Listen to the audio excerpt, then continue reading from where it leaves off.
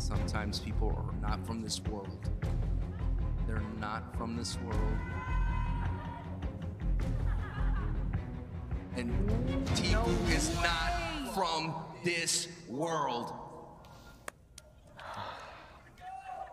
Alien. Extraterrestrial.